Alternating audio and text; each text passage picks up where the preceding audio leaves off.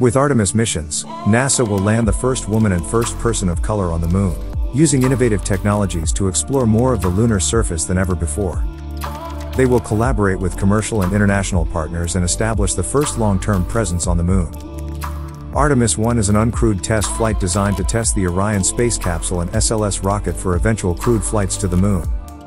If all goes well, NASA will follow it with a crewed Artemis 2 flight around the moon in 2024 and the crewed Artemis 3 moon landing mission around 2025.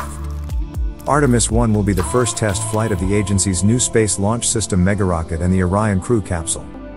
The SLS rocket will launch the uncrewed Orion spacecraft on an approximately 42-day mission during which it will orbit the moon before returning to Earth.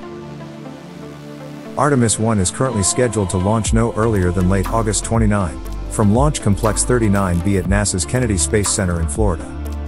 Subscribe now for 1 minute space facts videos.